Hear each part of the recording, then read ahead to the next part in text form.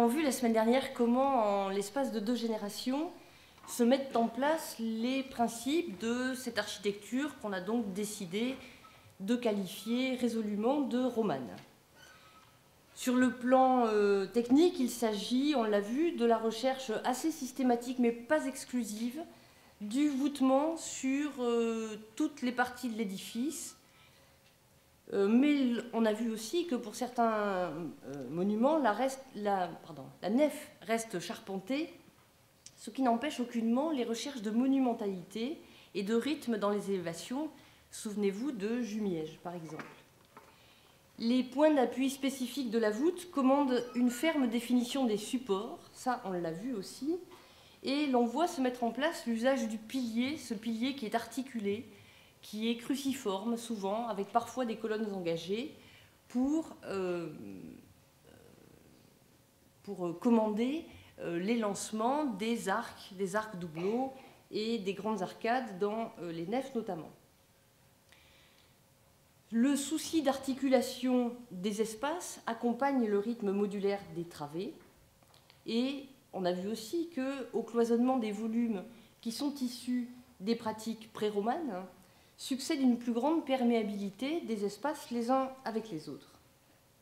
Au respect de la surface murale succède un désir de rythme, de euh, scansion des élévations ce qui se traduit par des éléments euh, comme les colonnes engagées qui montent depuis la base euh, des murs jusqu'au départ des voûtes. On a vu aussi qu'une attention nouvelle est portée à l'appareil de la construction, aux matériaux de la construction, et dans les édifices du deuxième quart du XIe siècle, on voit être promue la pierre de taille de moyen appareil, ce que l'on a vu à la tour Porche de Saint-Benoît-sur-Loire, par exemple, ou dans le chevet euh, de Conques. Il est intéressant de, remarquer aussi que euh, l'Église, en, tant qu'institution, n'a jamais promu une forme d'église, une forme de, bâtiment, église grand E, qui ne s'occupe pas de la forme de l'église petit e.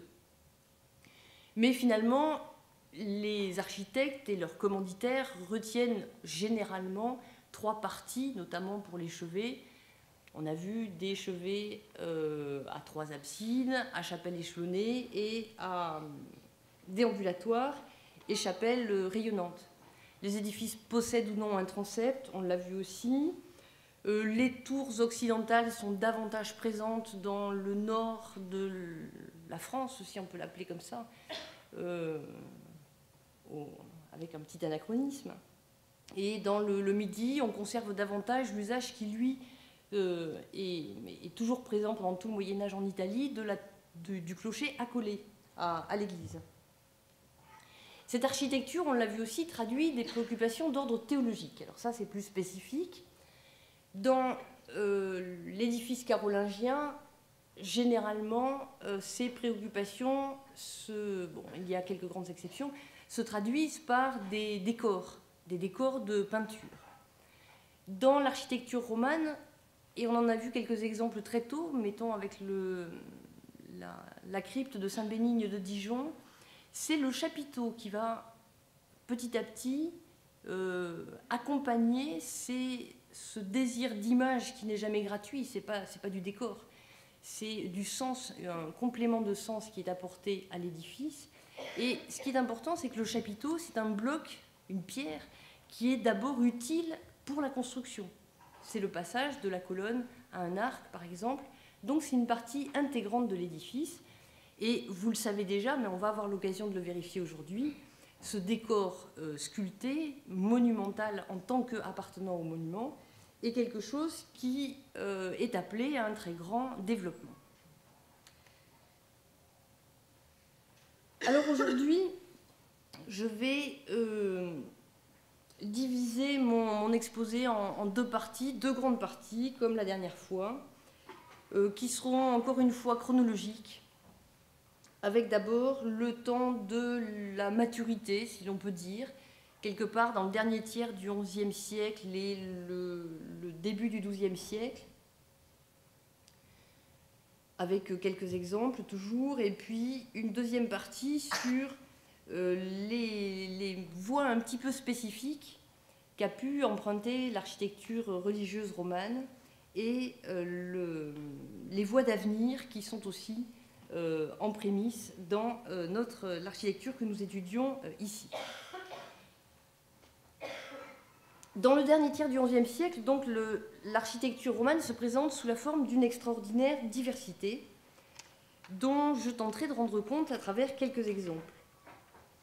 Et l'on va voir d'emblée que certaines solutions architecturales se présentent comme l'aboutissement de recherches qui avaient été entreprises depuis le début du siècle, alors que d'autres appartiennent résolument à la catégorie des innovations.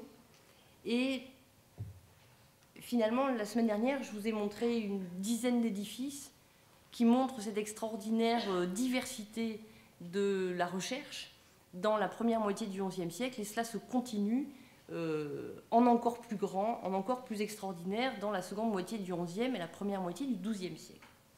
Cela est rendu possible parce que c'est la société tout entière qui s'enrichit. Vous le savez, euh, on insiste toujours sur le fait qu'au XIe siècle, on a des, des mutations et pas simplement euh, la mutation ou la révolution féodale sur laquelle on n'arrête pas de se disputer encore, mais on a des mutations profondes dans la société qui se traduisent par euh, des, avancées techniques euh, dans le domaine de l'agriculture, dans le domaine de, l'énergie hydraulique, par exemple, plus concrètement pour nos, pour nos édifices dans le domaine de, l'outillage, du tailleur de pierre, qui est désormais plus, plus plus solide, plus résistant. Euh, les marteaux sont plus taillants, si, j'ose dire. Euh, une émergence des villes tout à fait euh, importante qui, en fait, concentre des richesses.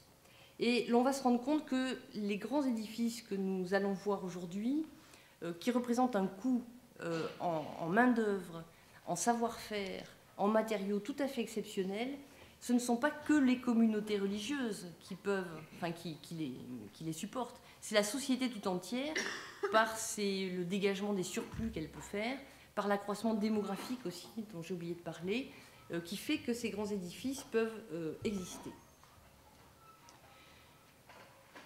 Donc, d'une manière assez euh, naturelle, à ces, moyens économiques accrus, à ces savoir-faire techniques qui, euh, relativement rapidement, euh, se mettent en place, euh, vont correspondre des capacités à faire des édifices plus grands, plus sûrs et avec des architectes et artisans plus compétents. Le, le voûtement et le désir de voûtement des édifices de plus en plus vastes constitue toujours la base de réflexion des architectes, avec comme corollaire important la question de la diffusion de la lumière dans euh, les édifices qui sont euh, voûtés. Là encore, on ne peut être qu'étonné par l'extraordinaire diversité des parties euh, des, architectes. Alors je reprends le, cas de Saint-Philibert de Tournu que nous avions vu la semaine dernière. Euh, nous en avions euh, étudié séparément le chevet avec sa crypte, la Galilée, la partie occidentale. Vous voyez sur la coupe ici, le chevet, la partie occidentale. Et aujourd'hui, ce qui m'intéresse, c'est la nef qui commence à être édifié alors que l'on finissait de, de, bâtir la partie occidentale, c'est-à-dire dans les années 1040, 1050, 1060. Et là, pour la nef, donc je n'ai pas remis le plan, mais vous vous en souvenez, c'est euh, une nef à trois vaisseaux, un vaisseau central encadré de collatéraux. Et on va choisir cette solution tout à fait originale de voûter les bas-côtés d'arêtes, les voûtes d'arêtes que vous voyez ici. Bon, ça, c'est une solution absolument normale.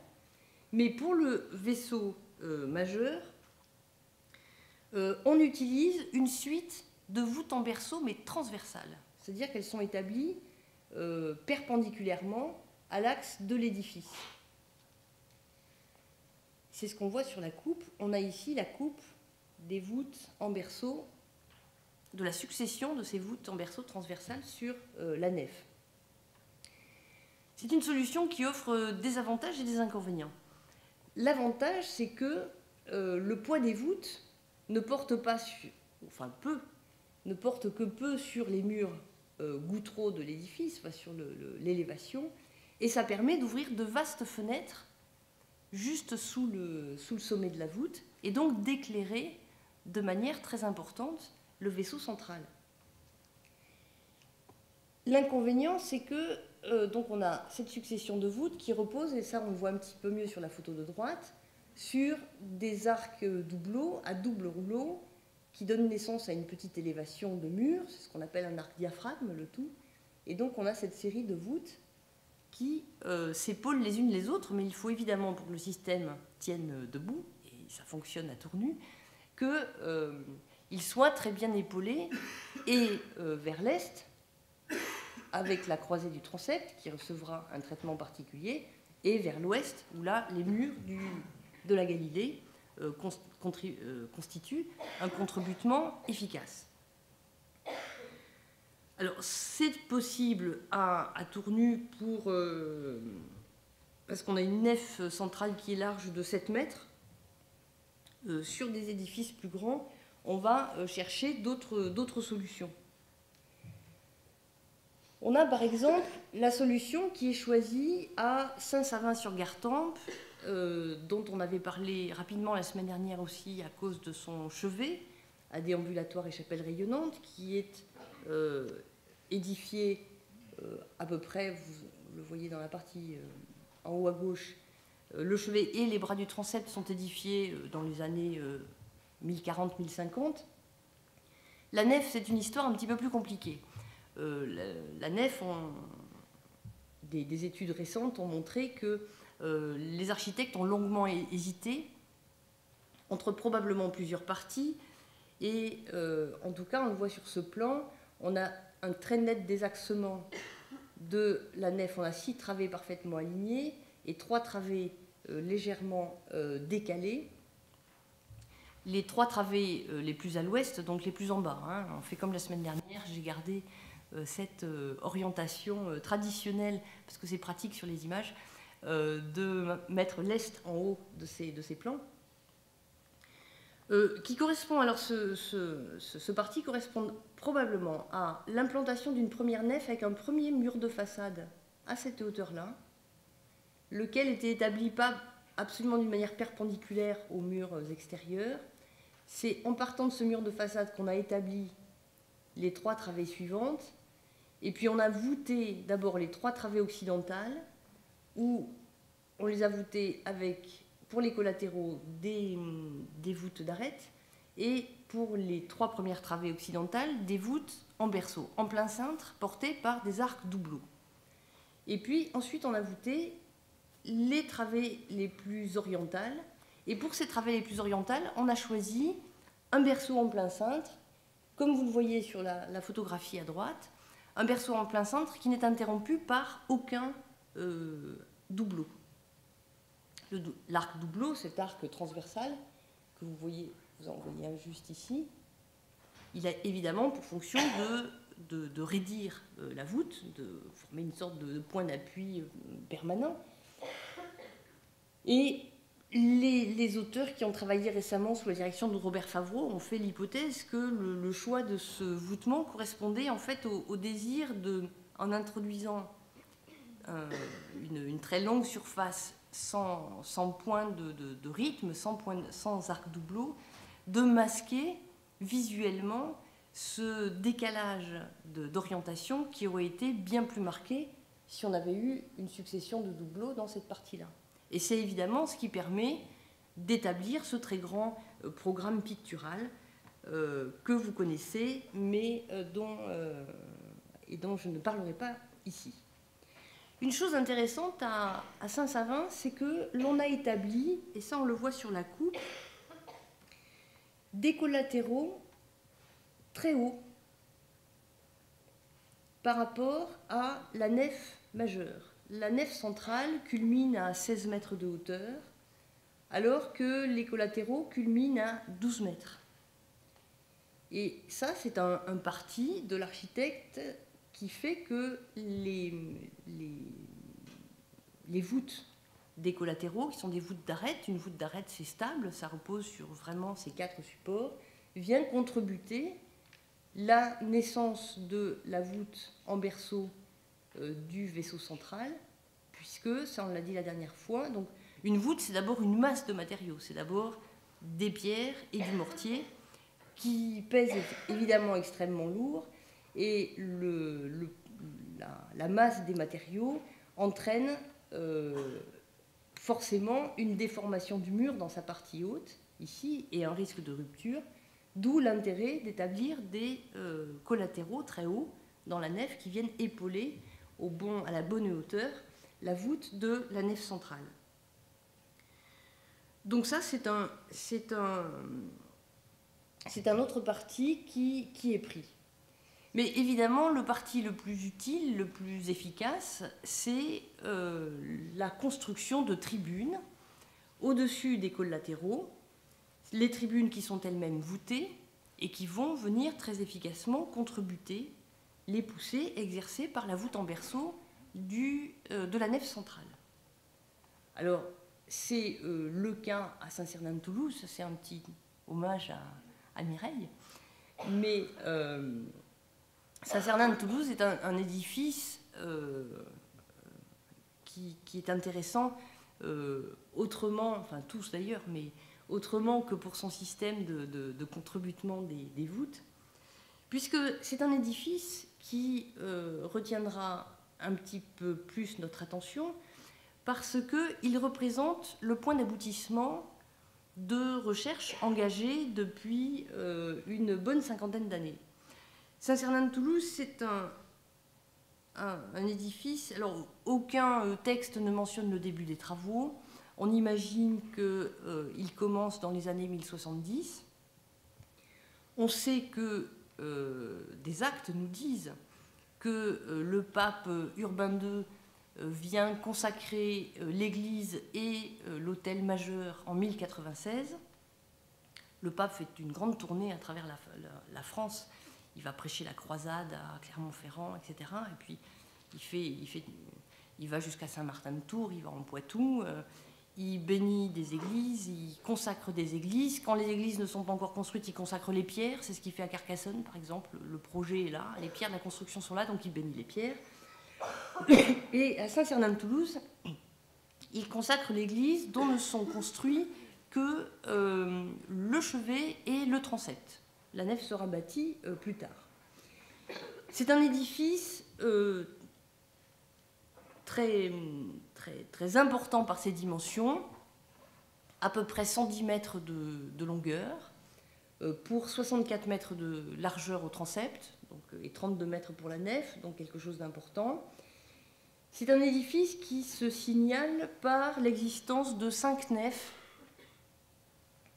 et euh, en général, les quelques édifices à cinq nefs que l'on a, on en verra un autre tout à l'heure avec l'Uni, euh, font une référence directe à, un édifice majeur de la chrétienté et emblématique. C'est euh, Saint-Pierre au Vatican, l'église qui avait été construite par Constantin entre, dans les années 314-320 et qui comprenait cinq nefs. Et surtout, c'est un, édifice qui se signale par une extrême harmonie de ses proportions, aussi bien dans son plan que dans ses, élévations. Alors, dans son plan, qu'on a ici à gauche, on a à l'ouest un massif occidental, sur lequel je reviendrai, une nef de 11 travées avec des doubles collatéraux, ces collatéraux qui font le tour du transept, euh, qui se poursuivent par le déambulatoire, lequel possède cinq chapelles rayonnantes. Et sur les bras du transept, on a deux chapelles, deux chapelles orientées qui sont donc greffées à l'est de, ce transept. Alors Saint-Cernin, ici, euh, monumentalise et perfectionne les acquis de Conques euh, que l'on a vu la semaine dernière. Vous vous souvenez qu'à Conques, on avait ce système, alors un seul collatéral bien sûr de chaque côté, mais pour les bras du transept, le collatéral ne faisait ne revenait pas en retour sur les murs nord et sud du euh, transept. La relation entre Saint-Cernin et Conques est intéressante à, montrer. Euh, un, étudiant qui, a, travaillé avec moi quelques années, puis maintenant qui est à, Nanterre, a, observé que certains piliers du transept de Saint-Cernin-de-Toulouse reprennent au centimètre près les, les, dimensions des piliers de Conques. C'est-à-dire que sans faire de l'archéologie fiction, on peut imaginer que l'architecte qui a construit euh, Saint-Cernin euh, a été étudié euh, de près le modèle de Conques. C'est n'est pas le même qu'il a construit, mais il a été voir à Conques, il a pris des mesures sur l'édifice et il s'en est servi pour Saint-Cernin. C'est un édifice qui est aussi entièrement voûté, c'est normal, il fait partie de cette on est dans, la ligne d'édifices comme Conques. Il est entièrement voûté avec un système qui est suffisamment ingénieux pour avoir tenu pratiquement sans faille jusqu'à aujourd'hui. Donc une nef centrale qui s'élève à un peu plus de 20 mètres, dont vous voyez la, voûte en berceau ici sur la coupe, laquelle voûte est épaulée très, euh, très, solidement par les voûtes en demi-berceau des tribunes qui sont placées au-dessus des collatéraux majeurs, et puis on a des collatéraux dits mineurs, bien sûr, au-dessus desquels se trouve un petit couloir voûté lui aussi en demi-berceau, qui vient porter le, plancher de stabilité, si j'ose dire, de l'édifice à la hauteur des tribunes. Donc ça fait quelque chose d'excessivement euh, cohérent. L'harmonie des proportions, elle se voit aussi dans euh, dans les élévations de l'édifice. Alors, à droite, une photo du, chevet, avec euh, donc ici les chapelles du déambulatoire, chapelles rayonnantes, qui sont exactement de même module et de même aspect que les chapelles qui sont greffées à l'est du transept. À l'arrière, une élévation un peu supérieure, celle du déambulatoire lui-même. À l'arrière encore, l'élévation de l'abside majeure. Donc sur le plan, ça correspond à cette partie-là, ici. Et l'abside majeure se développe au-devant euh, des travées de chœur, qui s'arrêtent donc ici. Et puis un très grand transept à l'arrière, qui forme une sorte de mur de scène, de mur de fond, qui euh, donc euh, bloque le regard et met en valeur l'échelonnement des, masses qui sont situées en avant. Dans cette architecture, on a aussi, mais là on est dans un pays de, plaine, à Toulouse, on, a une, on, trouve l'emploi conjoint de la pierre et de la brique. La pierre qu'on fait venir d'une trentaine, d'une quarantaine, d'une cinquantaine de kilomètres, donc ça coûte euh, très cher. Euh, ça coûte en extraction, ça coûte en taille, mais ça coûte surtout en transport. Ça, c'est quelque chose de très important. Donc, on utilise la pierre euh, essentiellement pour euh, les contreforts, pour les encadrements des fenêtres. Et d'emblée aussi, c'est un des caractères spécifiques de Saint-Cernin, on va l'utiliser pour la sculpture qui se présente dès l'extérieur et dès les premières phases de la construction, sous la forme de ces modillons sculptés. Pas de circulation au revers de la façade. Ce qui nous donne en plan, c'est ce que vous voyez au-dessus, des tribunes qui forment en fait deux sortes de longs, deux sortes de longs circuits parallèles au nord, mais qui s'arrêtent ici parce que là il y a une porte très étroite et un tout petit, un petit passage voûté qui contourne l'abside. Et puis une autre grande tribune ici euh, mais qui vient buter contre euh, les salles du premier étage du massif occidental. Et c'est la question qu'on se posait la dernière fois à Conques et qui n'est pas résolue là encore à Saint-Cernin-de-Toulouse. À quoi pouvaient donc bien servir ces tribunes, outre le fait de contribuer efficacement les poussées exercées par la voûte du vaisseau euh, principal? Alors on a toute une littérature là-dessus, enfin pas sur Saint-Cernin-de-Toulouse, mais dans certains cas, comme à Saint-Jacques-de-Compostelle par exemple, on sait qu'il existait des hôtels dans les parties supérieures. À Compostelle, par exemple, on sait qu'on a un hôtel à Saint-Michel, ce qui n'étonnera personne. Et donc ça, avait une utilité euh, pour la liturgie.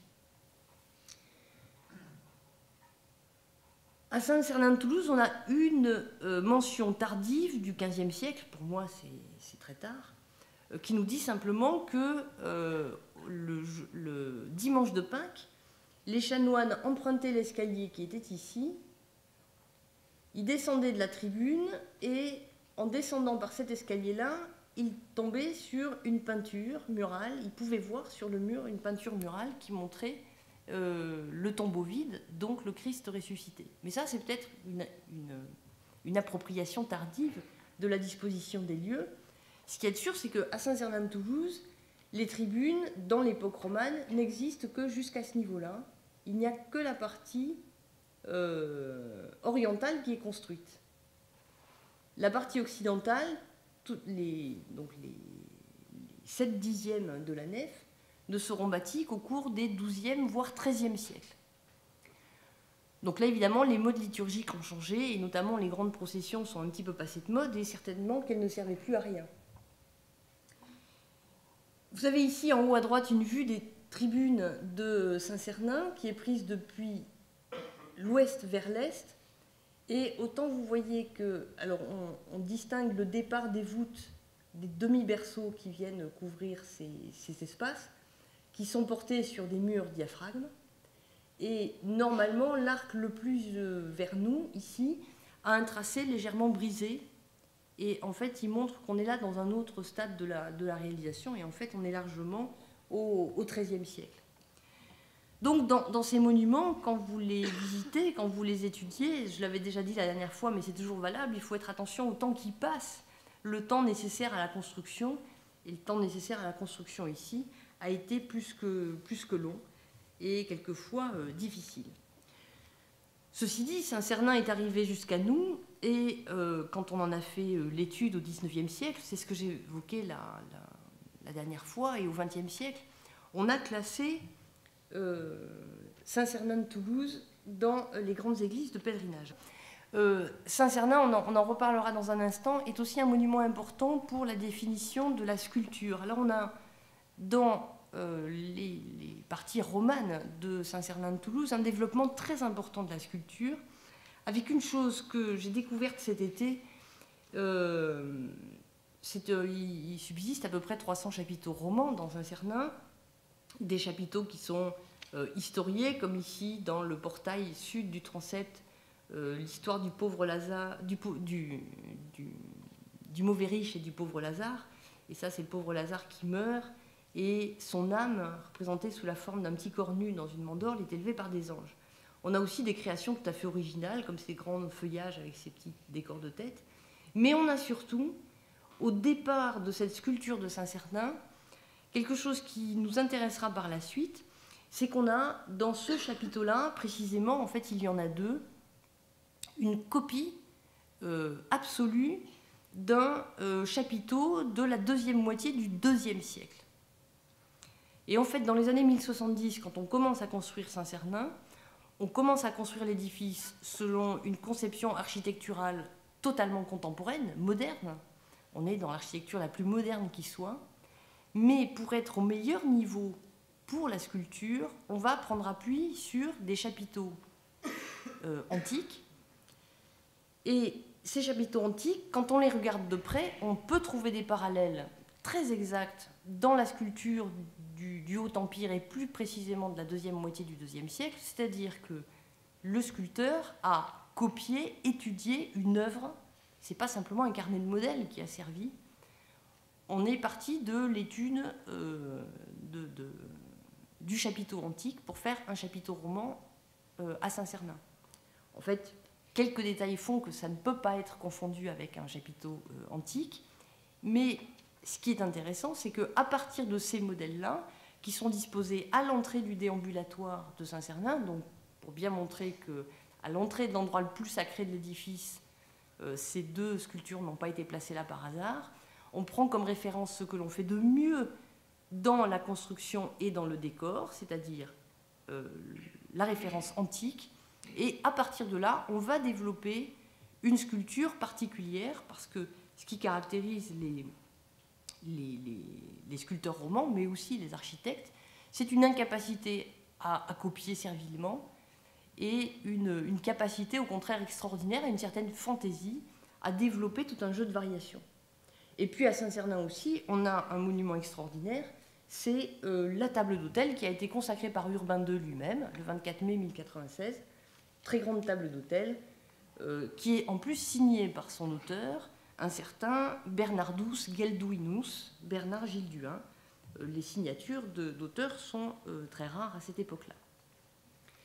Et donc, dans, ce, pour continuer ce que je voulais dire, pour revenir à euh, nos soucis de classification euh, qu'avaient tous nos grands prédécesseurs du 19e et encore du 20e siècle, euh, on, a, on, a, relevé que Saint-Cernin de, Toulouse, qui est représenté ici en quatre sur cette planche, présentait d'assez fortes similitudes avec quatre autres églises, Sainte-Foy de Conques, Saint-Martin de Tours, Saint euh, de Limoges et Saint-Jacques de euh, Compostelle.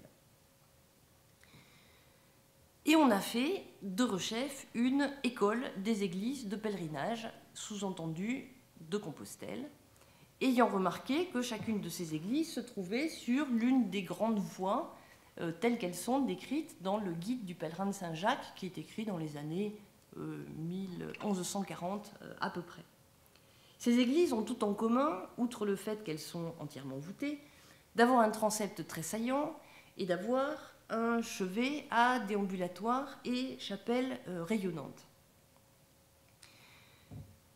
Les progrès de, de l'étude en histoire de l'art ont fait qu'on a dû renoncer à cette illusion des débuts qui voulait que euh, Saint-Jacques de Compostelle soit euh, le modèle de référence. En fait, dans la série, c'est le monument le plus tardif, euh, puisqu'on sait aujourd'hui qu'il est bâti à partir de 1075.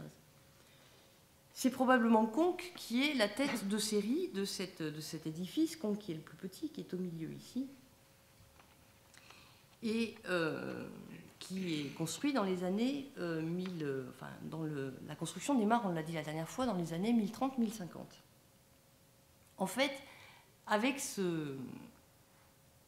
le peu que je vous ai dit la, dernière fois, euh, vous, pouvez déjà vous rendre compte que euh, des églises à plusieurs nefs et achevées et déambulatoires rayonnantes, il y en a partout. Ce sont les monuments, le type de monuments les plus prestigieux qu'on sait faire à partir de ces décennies 1030-1050. Et euh, cette idée des, églises, de, de l'école des églises de pèlerinage, euh, me semble-t-il, est venue du dessin qu'a fait euh, Conante dans les années 1920 de cette planche où il mettait, et c'était révolutionnaire à cette époque-là, ces cinq églises à la même échelle. Alors ça a servi de point d'appui aux chercheurs qui ont développé des théories à partir de là, mais en fait on a vu Saint-Philibert de Tournu, c'est une église à chapelle euh, déambulatoire à chapelle rayonnante euh, et transept saillant. Euh, Saint-Sylvestre de Gartempe aussi, et puis je pourrais en citer des dizaines d'autres. Donc il faut renoncer à cette idée qu'il y a une école des églises de pèlerinage. il y a dans la littérature actuelle, et c'est pour ça que, que, je me suis permise d'en parler ce soir, euh, on fait beaucoup de, cas des, chemins de Saint-Jacques-de-Compostelle, parce que c'est un large moyen de, promotion touristique et de, et de, réinvestissement d'un patrimoine religieux notamment. Mais euh, il faut bien savoir que quand on commence, quand on construit ces, églises-là, dans la, la, deuxième moitié du XIe siècle, on ne se pose évidemment pas la question de savoir si on était en relation avec le pèlerinage de Saint-Jacques ou pas. Si le guide du pèlerin dit qu'il faut s'arrêter euh, à, Saint-Cernin de Toulouse, c'est parce que Saint-Cernin de Toulouse est en soi un but de pèlerinage. Par contre, il dit pas, il oublie de dire qu'il faut s'arrêter à Saint-Martial de Limoges, mais il promeut davantage l'église de Saint-Léonard de Noblat. Il y avait peut-être un problème de concurrence euh, et de politique locale. Donc ça, c'est quelque chose pour lequel il faut, enfin, je, je vous appelle à la plus grande, à la plus grande retenue. Mais bon, pour continuer sur le plan de l'architecture, alors évidemment, l'édifice le, plus extraordinaire, c'est Cluny. Cluny, la troisième abbatiale de Cluny, qui, euh, qui traduit par l'immensité de son architecture à la fois la puissance d'un ordre euh, arrivé à peu près à l'apogée de son pouvoir et aussi des préoccupations tout, à fait, tout à fait matérielles. Vers la fin du XIe siècle, Cluny est à peu près au sommet de son, pouvoir. 1000 monastères ou à peu près sont affiliés à, euh, l'abbaye mère. L'ensemble euh, représente à peu près 10 000 moines qui sont euh, dans la, la, congrégation de Cluny. Et à Cluny même, il y a, alors selon les auteurs, entre 200 et 300 moines. Donc évidemment, un nombre d'occupants très, très important. Et il fallait évidemment, pour recevoir tout, ce monde-là, une église très importante, d'autant que aux moines s'ajoutent les convers, les familiers. Donc, pour les offices quotidiens, la nécessité d'avoir un édifice d'une ampleur euh, tout à fait euh, extraordinaire. Donc, cette, cette, église, est entreprise, la construction est entreprise dans les années, euh, en 1088. Euh, le pape Urbain II passe à Cluny. Euh, en 1095, il euh, consacre plusieurs hôtels dans l'église, mais qui est alors en chantier. Et la consécration du monument a lieu en 1130, donc finalement une bonne quarantaine d'années après le début de la construction, et là l'église est presque complètement terminée. Vous le, savez, le, le problème de Cluny, c'est qu'aujourd'hui il ne reste plus qu'une partie du bras sud du transept, que tout a été démoli euh, entre 1792 et 1823, et que l'on doit la connaissance de Cluny, d'abord aux fouilles de, de l'architecte américain Conant, euh, plus récemment par, le, par les études qui ont été menées notamment par Anne Beau, dont vous connaissez peut-être l'excellente publication chez Picard euh, à propos de, Cluny. Et euh, cet édifice est connu par une assez bonne documentation ancienne. Et c'est ce qui nous permet de, de l'aborder aujourd'hui. Alors je le disais, un édifice gigantesque. Cluny, c'est 187 mètres de long, 150 mètres entre, sans, le, sans la partie occidentale, 159 entre le, la façade occidentale de la nef et l'extrémité du chevet. Euh, la largeur fait presque 40 mètres de la nef, ici. Et la hauteur de la nef centrale, on est à peu près à 30 mètres. Donc on est dans des proportions absolument euh, extraordinaires. Bien évidemment, l'ensemble est voûté. Alors le plan de Cluny est un petit peu euh, particulier. Cinq nefs, mais finalement, cela ne nous étonnera pas. Euh, Cluny relève directement du Saint-Siège. Euh, L'abbatiale est dédiée au Saint-Pierre et Paul. Donc là, il y a une relation avec Rome et ce modèle aussi prestigieux de Saint-Pierre au Vatican dont je parlais tout à l'heure. Mais cinq nefs était aussi nécessaire pour l'équilibre euh, structurel de, des, volumes et des voûtes. Et on, on en reparlera dans un instant. Ces cinq nefs s'arrêtent sur un très grand transept, lequel possède deux absidioles orientées plus une petite chapelle à coller. Le rythme des cinq nefs se poursuit dans le chœur qui est ici avec ses deux travées, et puis on trouve un petit transept avec à nouveau deux absidioles, à partir duquel démarre un déambulatoire avec cinq chapelles euh, rayonnantes. Alors ce double transept et cette multiplication des chapelles, une quinzaine au total, était évidemment en relation directe avec le nombre des moines qui, bien sûr, assistaient aux offices, mais qui en plus devaient pouvoir dire euh, des messes privées, euh, chose dont on avait déjà parlé la, la, semaine dernière. Une chose à Cluny qui est intéressante, donc on est dans un chantier de la toute fin du XIe et du tout début du XIIe siècle, on le voit sur cette vue euh, en haut à droite prise de l'abside avant, euh, au moment de sa démolition. Le tracé des arcs, euh, de l'arc triomphal de l'abside ici, comme celui du déambulatoire là, est un tracé légèrement brisé. Et en fait, aux environs de 1100, c'est le moment où l'on commence à utiliser l'arc brisé, mais pas d'une manière systématique du tout. Mais l'avantage de l'arc brisé, vous le savez, d'un point de vue structurel, c'est que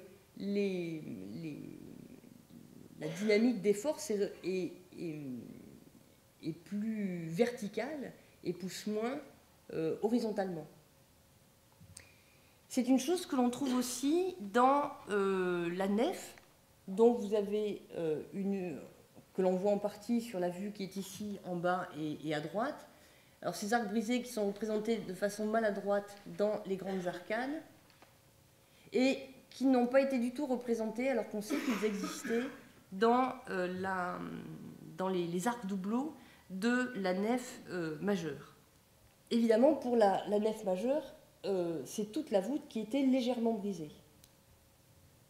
Pour porter cette structure, donc je vous rappelle, la voûte est portée à presque 30 mètres de haut. Je crois qu'on n'est pas loin de la hauteur des voûtes de la cathédrale de Paris, ça vous donnera une petite idée. Euh, on a évidemment euh, l'utilité absolue de, des, cinq nefs, avec ici l'espace des, tribunes, qui vient contribuer à la, naissance du berceau central, et puis euh, le, voûtement aussi des bas-côtés euh, extérieurs. Mais on a aussi à Cluny utilisé euh, des petites astuces architecturales qui sont pratiquement pas perceptibles à l'œil, mais qui sont venues, qui ont concouru à l'équilibre de, de ces poussées. Vous avez à gauche une vue extérieure du, bras sud du transept tel qu'il existe, et puis deux pas très bonnes photos, j'en suis désolée, de, l'intérieur de ce, bras de transept. Alors, euh, deux choses euh, euh, pour contribuer à la solidité de cet édifice.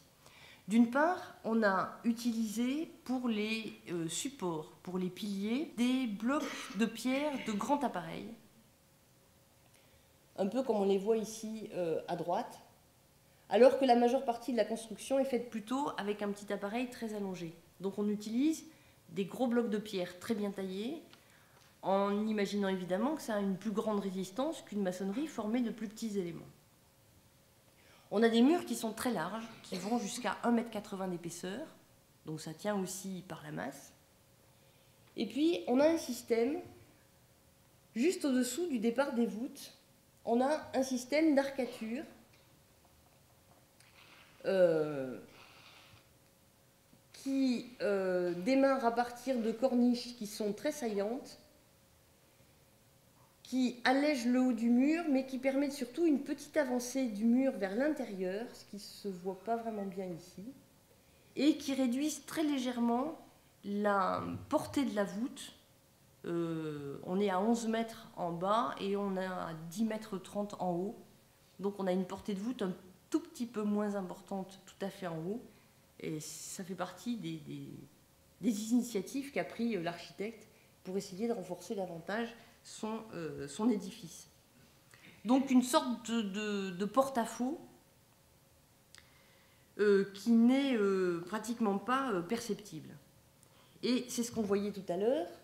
Donc c'est l'une des raisons d'être de ces deux niveaux supérieurs au-dessus des grandes arcades et au, départ de la voûte que de renforcer par ces séries d'arcs la cohérence du mur dans sa partie haute avec ce léger euh, porte-à-faux. Alors ce système-là, on, va l'orner bien sûr, puisque euh, les éléments porteurs sont euh, traduits aussi, visuellement traduisent un rythme dans l'élévation, et on va utiliser pour cette élévation supérieure un système qui est là tout à fait issu de l'Antiquité, euh, avec des dosserets qui se présentent sous la forme de pilastres cannelés, mais avec un, registre supérieur qui est différent, où là on revient au système corinthien de la colonne et du chapiteau. Ce qui est intéressant, c'est que dans des églises euh, comme Paray-le-Monial, qui évidemment n'avaient pas besoin de, cette structuration plus ferme de la partie supérieure des murs, on utilise ces euh, doubles registres euh, d'arcature en, partie haute, avec aussi des pilastres cannelés. Et cela nous, nous, renvoie encore une fois à ce modèle toujours existant, toujours prégnant de l'Antiquité, qui ces modèles antiques qui font partie évidemment, enfin d'une manière évidente quand on regarde les monuments, de la formation et du substrat de connaissance de l'architecte de l'époque romane. Alors le pilastre cannelé, on l'utilise euh, aussi de façon tout à fait différente. J'ai juste mis une vue intérieure de Saint-Lazare d'Autun, mais là on a, euh, un usage complètement différent de, euh, de ce pilastre cannelé, puisqu'on le trouve d'abord euh, euh, depuis la base des supports jusqu'au sommet de la voûte. Il traverse les impostes qui marquent le départ des arcs, très brisés aussi, de la nef. Il traverse aussi l'étage sous comble de ces ouvertures qui ne sont pas sans rappeler le modèle de Cluny. Et puis il monte jusqu'au sommet du mur. Mais ici, ils traduisent aussi une esthétique complètement différente. C'est à Saint-Lazare d'Autun, on renonce à l'arrondi de la colonne engagée et à une certaine euh, perception de la lumière qui passe sur les volumes de ces supports, avec ici euh, donc ces pilastres que l'on retrouve aussi à l'intérieur des grandes arcades de la nef, qui donc rompent avec tout ce côté euh, arrondi qu'on trouve souvent dans les, dans les supports des, églises romanes, pour aller au contraire vers une fragmentation beaucoup plus importante de la lumière, des jeux beaucoup plus subtils sur des surfaces beaucoup plus euh, finement euh, traitées, comme ces cannelures de ces grands pilastres.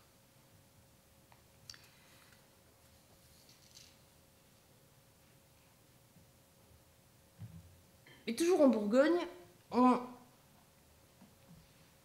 on doit évidemment parler de, Vézelay, euh, le but ici étant de montrer qu'il n'y a euh, jamais de, modèle absolu en architecture. Euh, l'impact de Cluny, de l'église abbatiale de Cluny, a été finalement moins important que ce qu'on aurait pu imaginer. cela aurait pu servir de modèle d'une manière pratiquement hégémonique. En fait, pas du tout. À Vézelay, on n'est quand même pas si loin, dans une église qui est reconstruite à partir de 1120, après un, incendie qui avait euh, ravagé l'édifice. Euh, l'église de la Madeleine est reconstruite donc à partir de 1120, elle est consacrée en 1132. Et à cette époque-là, il ne restait à finir que l'avant-nef, donc cette partie-là, et la chapelle de l'étage de l'avant-nef est consacrée entre 1145 et 1151. Donc finalement, un édifice très rapidement construit, une petite trentaine d'années, mais dont le cœur euh, roman a été euh, complètement euh, transformé au XIIIe siècle. Alors là encore, un édifice à, à, trois nefs, mais avec un, un, traitement complètement différent euh, de, l'espace, puisqu'on a une très large nef centrale qui fait euh, pratiquement 10 mètres de largeur pour une vingtaine de mètres de hauteur. Et pour couvrir un aussi vaste espace, l'architecte a imaginé de poser, euh, d'établir comme voûte une voûte qui ressemblerait assez à une voûte d'arête. En fait, sur les photos, c'est toujours difficile à voir, mais on voit ici, par exemple, le départ de l'arête. On la voit ici aussi. Il faut imaginer qu'on a des arêtes dans les diagonales. Ici. En fait, comme une voûte en berceau, mais qui aurait des pénétrations, donc une voûte en berceau perpendiculaire euh, qui viendrait dans ce sens-là.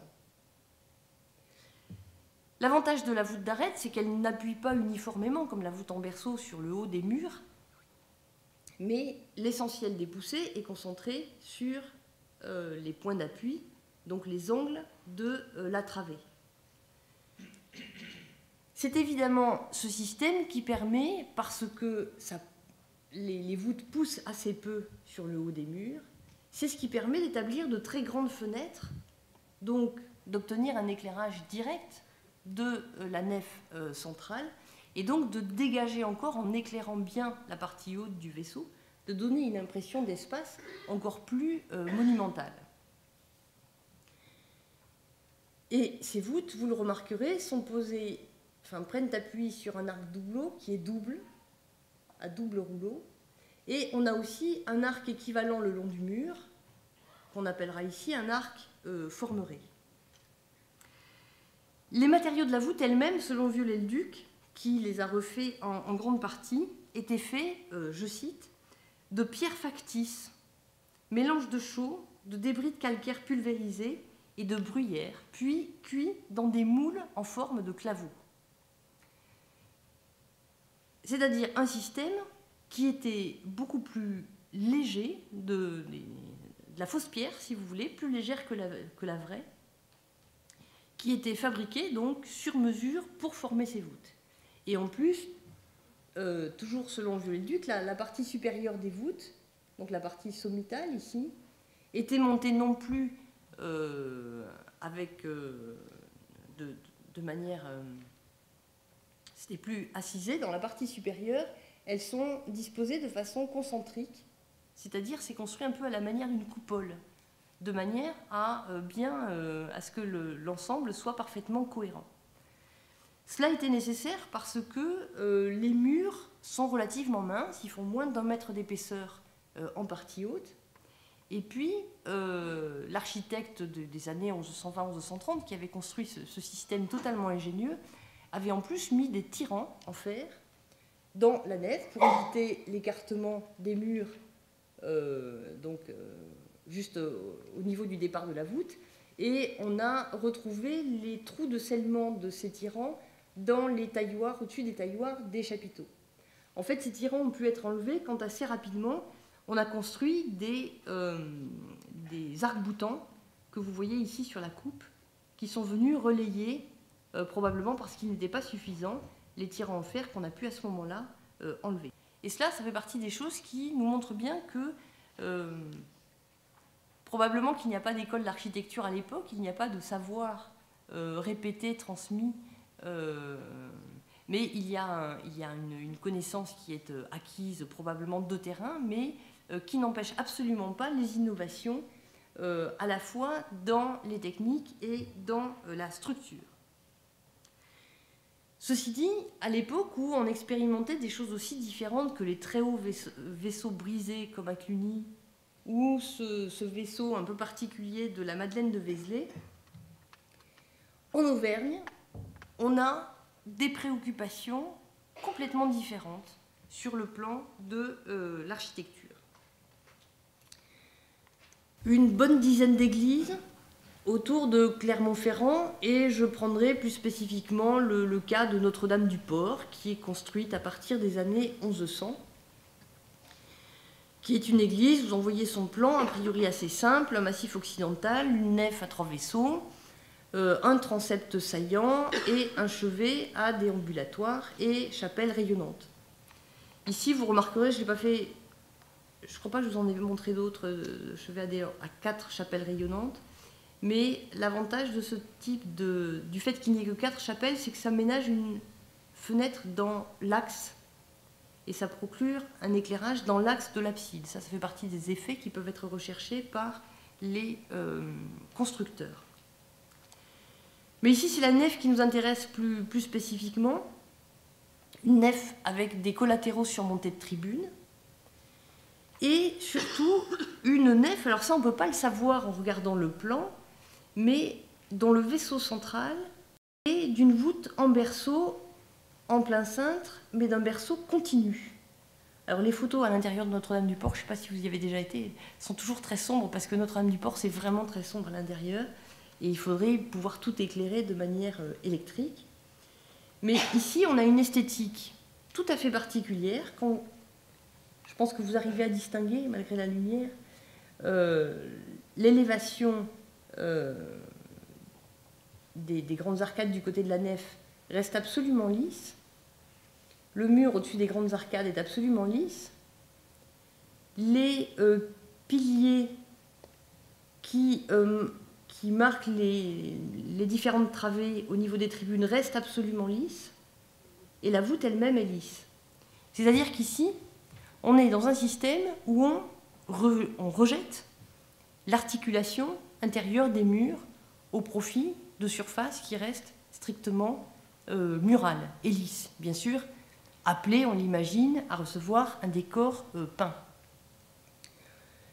C'est pas qu'on ne savait pas le faire, dire, ce désir de, rythme, d'élévation, c'est ce que l'on trouve à l'extérieur. Vous avez ça sur la photographie à droite, avec là, au contraire, chaque travée qui est marquée par euh, un, arc porté par les contreforts, et puis le niveau de la tribune qui, lui, est très rythmé par ces, ces, ces triples arcatures euh, aveugles, avec simplement l'arcade centrale qui est ouverte d'une petite fenêtre. Donc là, on a un vrai choix esthétique qui, qui est fait à l'intérieur. Donc on plie l'architecture au désir d'esthétique, mais ça, c'est assez euh, normal. Et puis, dans euh, quelques-unes de ces églises auvergnates, le plus bel exemple qu'on ait, c'est à, à Notre-Dame-du-Port, c'est le traitement très particulier de euh, la croisée du transept et des travées qui l'encadrent. Avec, vous le voyez sur le plan, à la croisée du transept, une coupole qui est établie sur trompe, qui est encadrée de deux travées euh, chaque bras de transept étant séparé en deux travées. Et vu de dessous, c'est ce que vous avez dans la photographie qui est tout à fait en, en haut, une disposition tout à fait curieuse, avec cette coupole sur trompe, vous voyez les trompes d'angle ici, qui s'élèvent sur des murs diaphragmes. On imagine ici, on est vraiment dans la croisée. Ces murs diaphragmes qui sont largement éclairés par 3 B.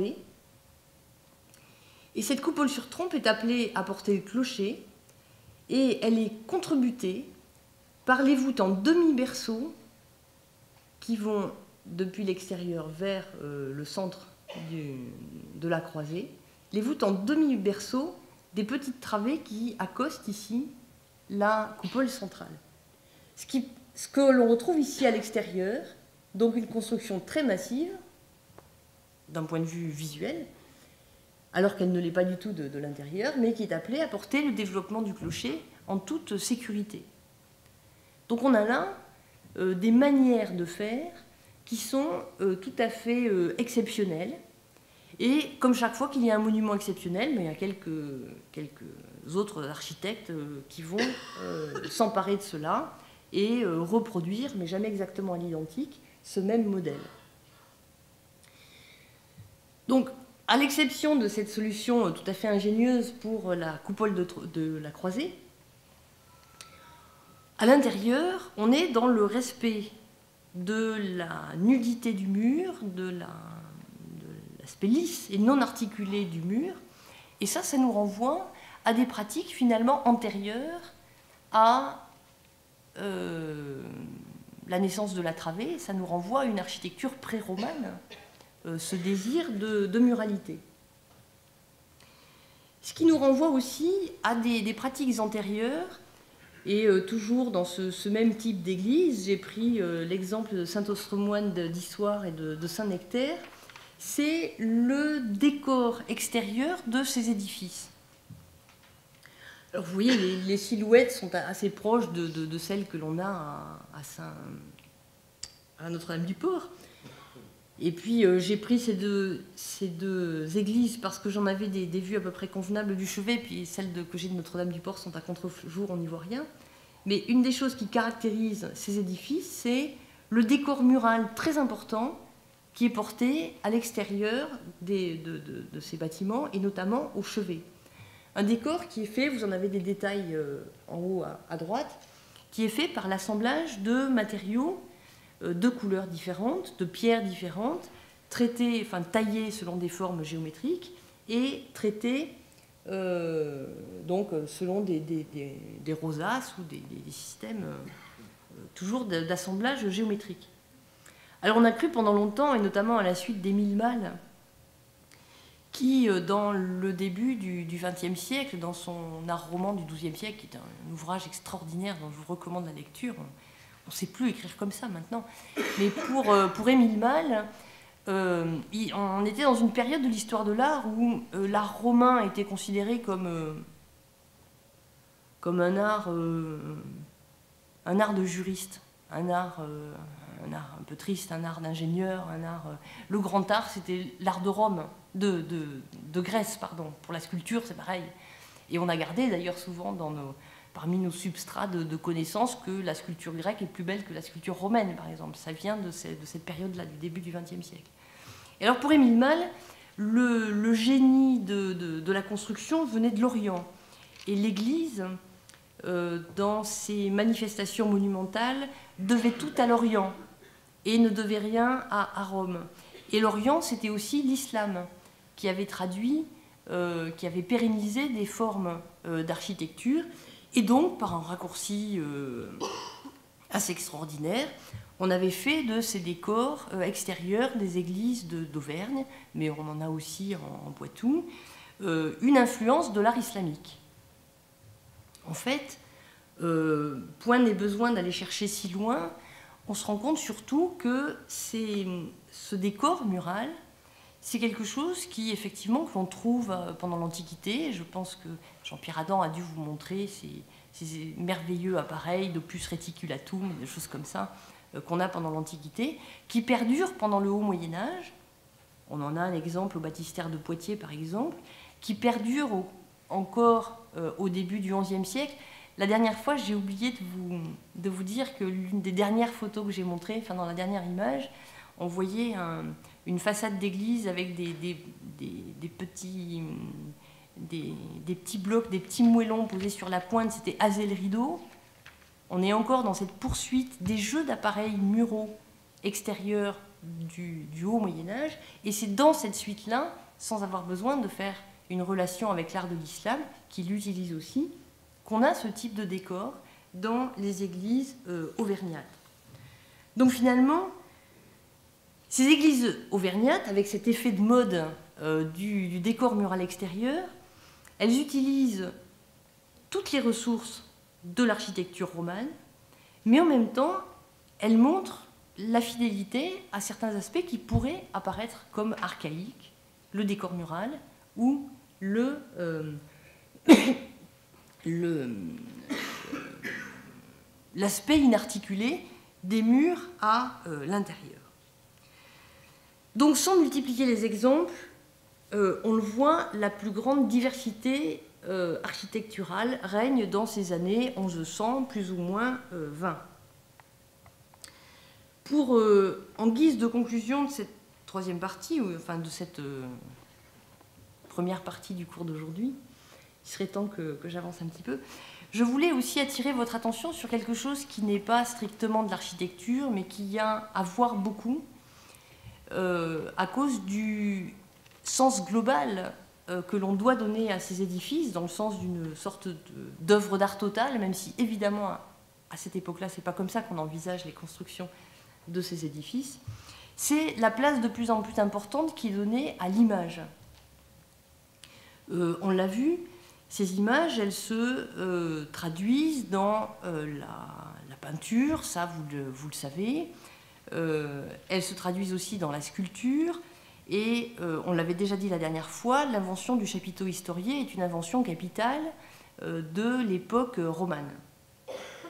Mais dans les années 1100, il y a un tournant très radical qui est pris. C'est le moment où l'on se rend compte que euh, l'image sculptée peut être porteuse d'un discours euh, pratiquement à égalité avec le discours écrit tel qu'on a l'habitude de le traiter dans les manuscrits. Et cela se passe autour des, de 1100, et l'exemple le, plus, euh, le plus ancien que l'on ait conservé et le plus extraordinaire, c'est celui du cloître de Moissac, dont vous avez euh, sans doute déjà entendu parler. Moissac, c'est le plus ancien des cloîtres historiés.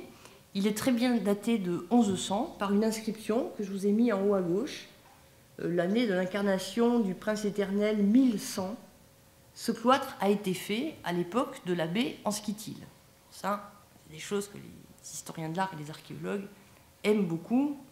Euh, c'est quand même très pratique d'avoir une datation pareille. C'est un cloître qui comporte 76 chapiteaux et aux angles du cloître, on distingue à peine ici à contre-jour, des piliers de briques qui sont revêtus de plaques de marbre qui portent deux à deux des euh, reliefs figurant les euh, apôtres.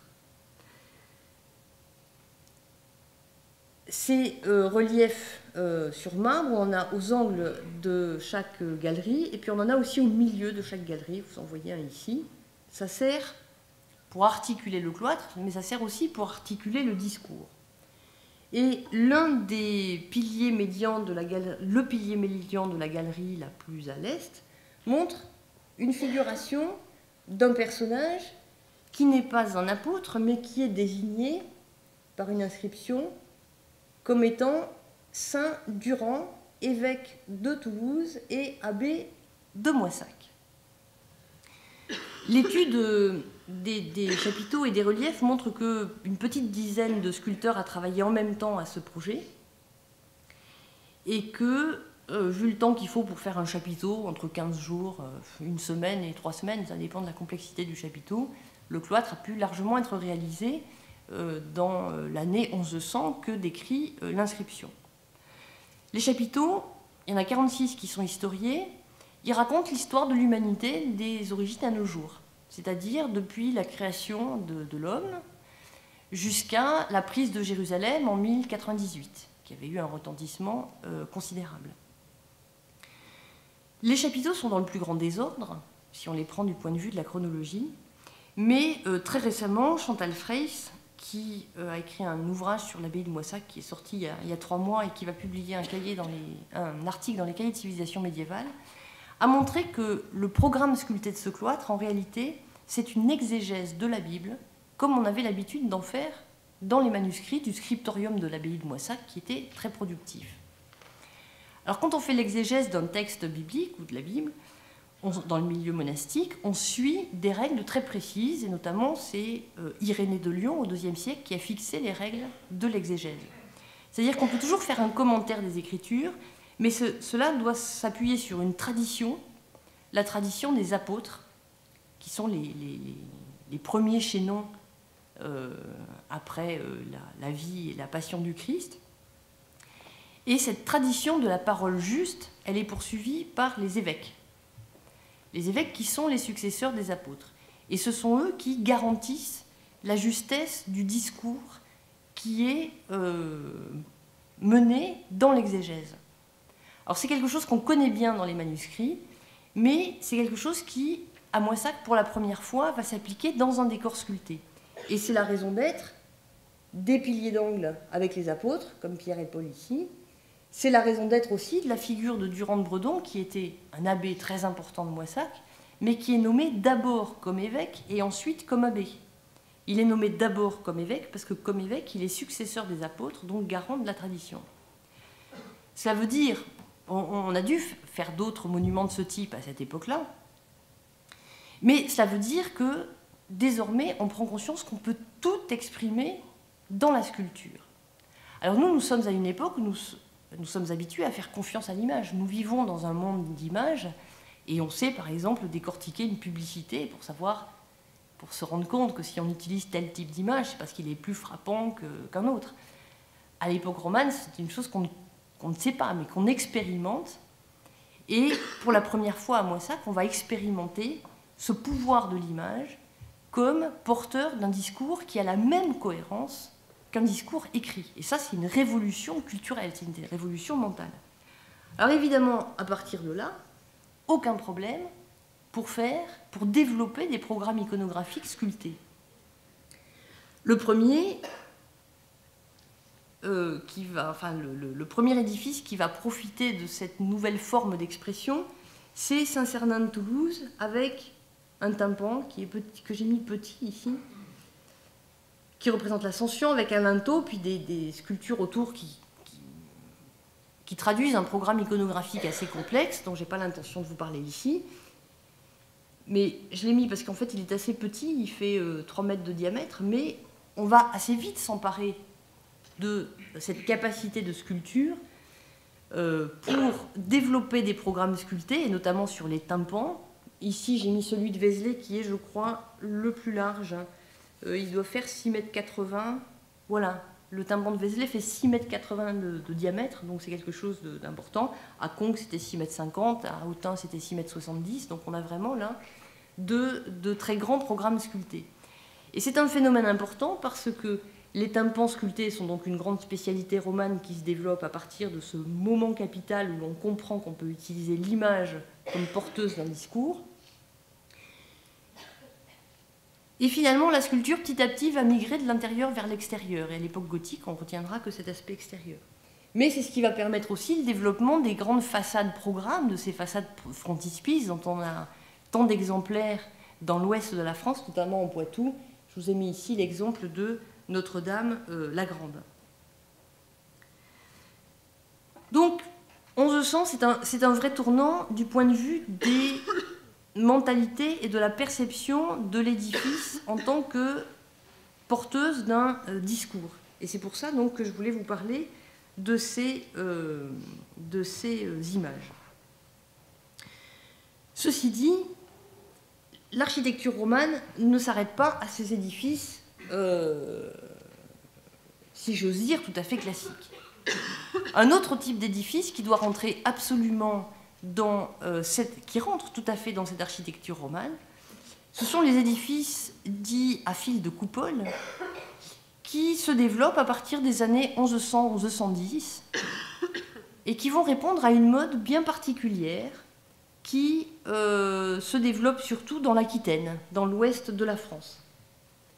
Alors le plus ancien, c'est Saint-Étienne de Périgueux, donc construit à partir de, dans les années 1100-1110 un, édifice assez, curieux avec euh, quatre travées successives, chacune couverte d'une coupole.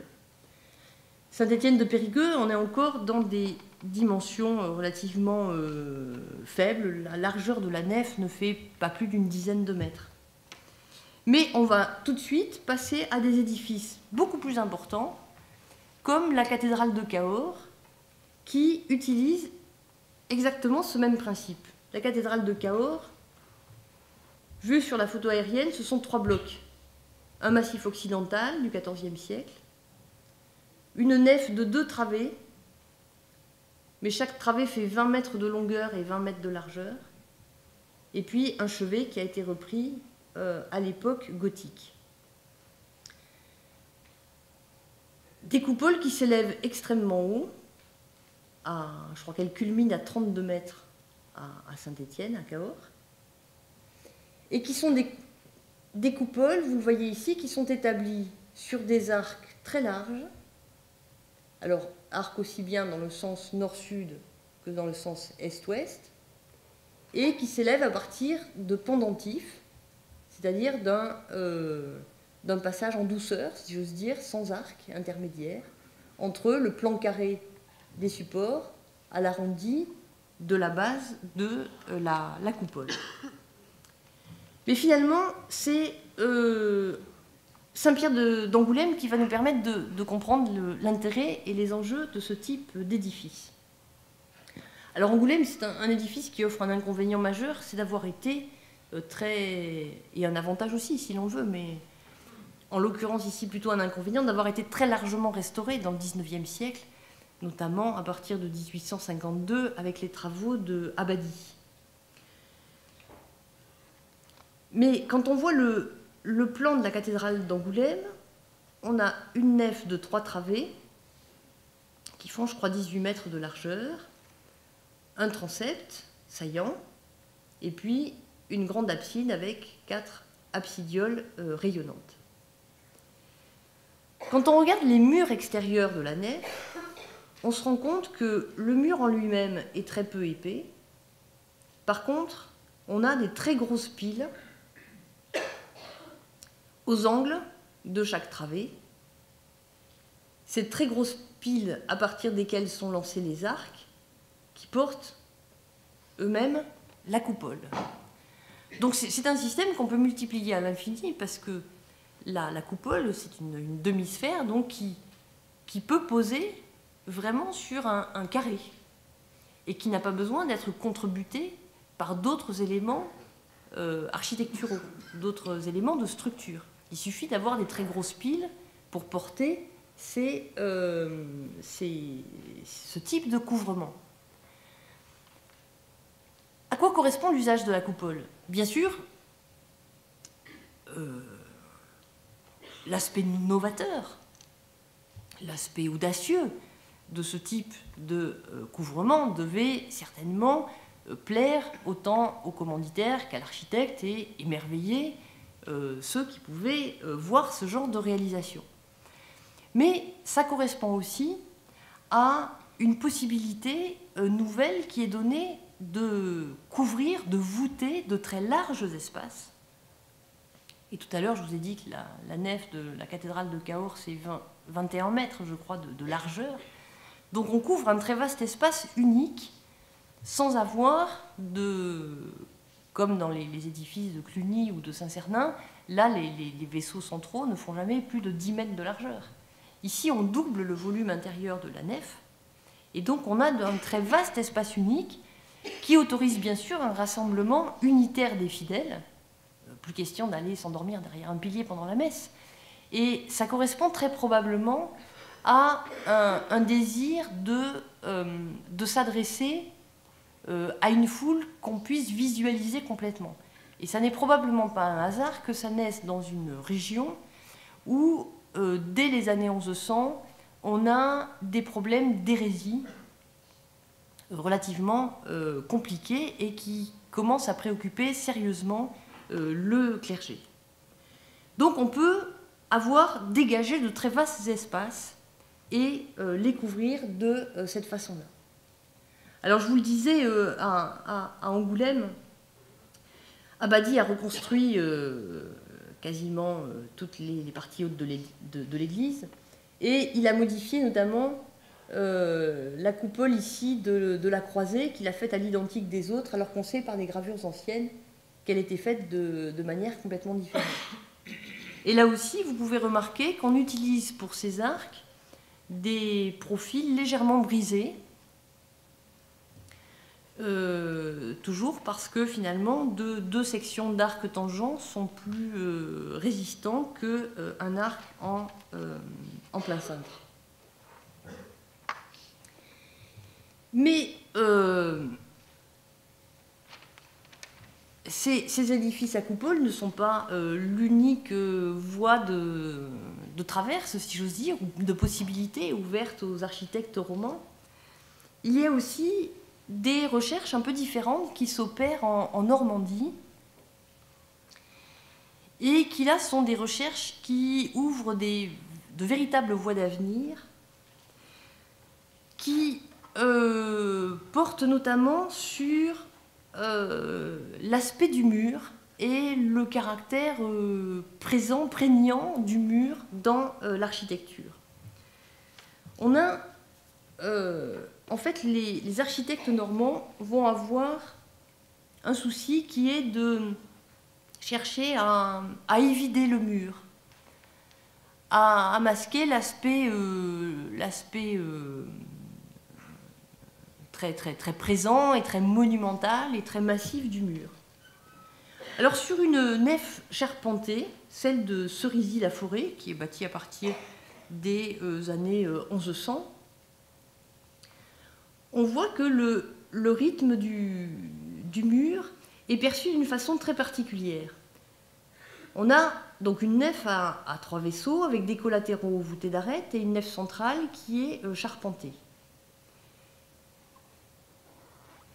des grandes arcades en plein cintre, assez larges, et une même largeur qui se répète au niveau des ouvertures des tribunes, avec l'arc de décharge que vous voyez ici, qui après sont recoupés en deux, mais ça c'est un élément qui n'est pas obligatoire. Et ce qui est intéressant, c'est la partie supérieure du mur, où là on a une triple baie, trois, trois arcs, celui du centre qui est évidé pour laisser la place d'une fenêtre, mais surtout, ces trois arcs sont portés en avant du mur lui-même et dégagent un passage qui est ménagé donc à l'intérieur du mur et qui permet une circulation dans les parties hautes. Alors d'une part, la circulation dans les parties hautes, c'est toujours pratique parce que ça permet d'être plus proche des combles, par exemple, pour aller visiter la toiture, ce qui est quand même euh, nécessaire euh, régulièrement. Mais ça fait surtout que euh, le, mur lui-même, il est repoussé vers l'extérieur de l'édifice et vers l'intérieur, on ne voit que les trois arcades qui reposent sur ces deux colonnes ici que l'on voit qui sont détachées du mur. Et entre la colonne et le mur se trouve le passage.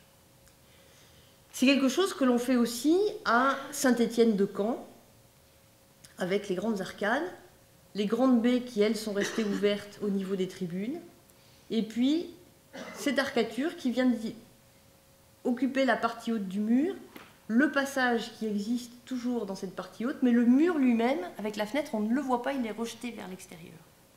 Alors à Caen, ça se voit un petit peu moins bien, parce que euh, plus tard, au XIIe siècle, on a voûté la nef, donc cette voûte euh, a, tendance à masquer un peu cet effet extraordinaire de, transparence du mur que l'on voit dans les parties hautes de l'élévation de Cerisy-la-Forêt. Et puis ça, j'en ai peu parlé, mais en fait j'ai du mal à parler de tout. Euh, en, Normandie, on expérimente aussi des, solutions de façade avec des tours, euh, ces tours harmoniques qui sont appelées à connaître un vrai développement euh, comme on le verra bientôt, dans l'architecture gothique.